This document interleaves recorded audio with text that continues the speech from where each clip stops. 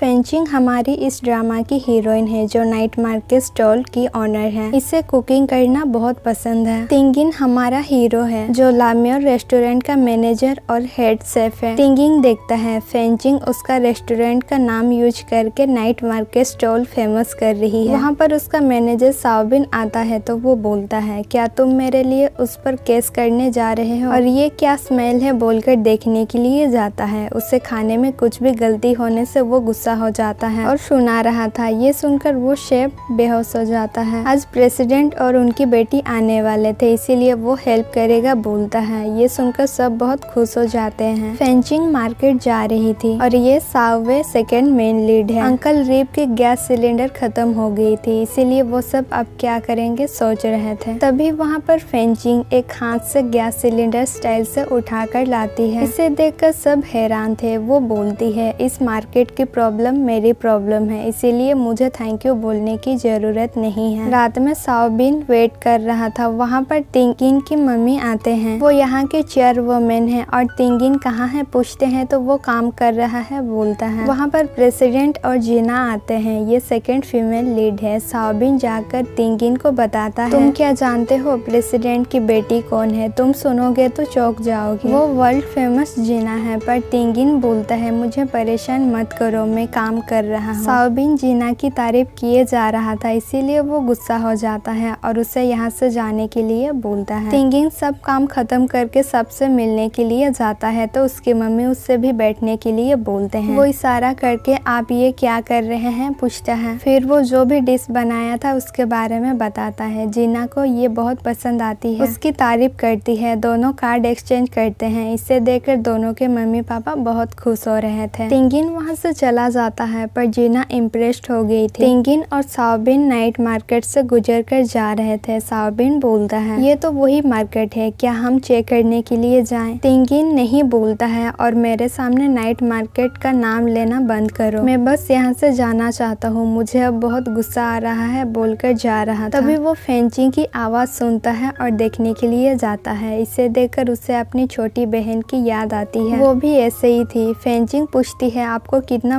Burger चाहिए, पर वो खो गया था और कुछ भी नहीं बोलता है। सावे आकर क्या हुआ है पूछता है, अगर तुमको खरीदना नहीं है तो साइड में खड़े हो जाओ, पीछे बहुत कस्टमर है। तिंगिन दो बर्गर माँगता है और खाकर देखता है तो उसे ये पसंद नहीं आता है और उसकी बुराई करने लगता है। साउबिन बताता है, ये लामियर रेस्टोरेंट के हेड शेफ है। फेंचिंग गुस्से में थी और बोलती है, तुम्हारे रेस्टोरेंट में अच्छे इंग्रेडिएंट इसलिए तुम्हारा करी अच्छी बनती है, पर हम ये नहीं कर सकते हैं। तिंगिन उसे गलत साबित करने के लिए वो जाकर कुक करता है और सबको टेस्ट करने के लिए देता है। सब खाकर अलग ही दुनिया में खो जाते हैं। ये देखकर फेंचिंग सेड हो जाती है। और वो भी टेस्ट करके देखती है तो उसे ये अच्छी लगती है। थिंकिंग तुम्हें कैसा लगा? पूछता है। ये रियल करी है। सो तुम मेरा नाम यूज़ करना बंद कर दो। उसके फ्रेंड बोलते हैं ये कुछ भी नहीं की है। हम पोस्ट किए थे। तिंगिन वहाँ से चला जाता है तो सावे उसे समझाता है। तुम दुखी मत हो। वो ठीक है बोलती है। पर वो बहुत दुखी थी। तिंगिन घर आता है और अपनी बहन तिंगली के बारे में सोचता है। वो उसे घर वापस बुलाने के लिए गया था। तिंगली घर छोड़कर अपने बॉयफ्रेंड के साथ में रहने के लिए चली गई थी। तिंगिन बोलता है, तुम्हें अगर करी बनाना सीखना है तो मेरे साथ घर चलो। मैं तुम्हें सिखाऊँगा, पर वो नहीं बोलती है। मुझे हुआ फैमिली से कुछ भी नहीं चाहिए। इसके अलावा कुछ ऐसा नहीं है जिसे सिर्फ़ हाई क्लास रेस्टोरेंट ही अच्छा बना सकते हैं। ये बोलकर वो घर नहीं जाती है। अगले दिन वो बारिश में काम कर रही थी। तिंगिन उसे देखकर उसके पास जाता है और उसे घर चलने के लिए बोलता है, पर वो नहीं जाती है और रोने लगती है। वो अच्छी करी बना नहीं पा रही है और उसे सिखाने के लिए बोलती है, पर तिंगिन बोलता है, तुम अगर घर नहीं आती हो तो मैं तुम्हें नहीं सिखाऊँगा बोलकर चला जाता है। तिंगिन यही सब सोच रहा था। तुम अगर घर आते तो मम्मी और तुम्हें प्रोटेक्ट करता बोलकर रोने लगता है। अगले दिन फेंचिंग लामियर रेस्टोरेंट जाती है। वहाँ पर उसके दोनों फ्रेंड भी आए हुए थे। और तुम यहाँ पर क्यों आई हो पूछते हैं तो फेंचिंग बोलती है। कल वो लोग नाइट मार्केट स्टॉल पर आए थे। आज मेरी बारी है, मैं उनके रेस्टोरेंट आई हूँ और उन्हें चैलेंज दूँगी। तभी वहाँ पर दोनों आ जाते हैं। तिंगिन क्या चैलेंज पूछता है तो वो बोलती है, कल तुम मेरी स्टॉल आकर टेस्ट किए, तुम्हारा करी बनाने की आज मेरी बारी है। तिंगिन साउबिन से पूछता है, ये कौन सी लैंग्वेज में बोली? तो वो चाइनीज़ बोलता है। तिंगिन पूछता है, इसका मतलब ये है कि कल ये जो खा चुकी है उससे आज बना सकती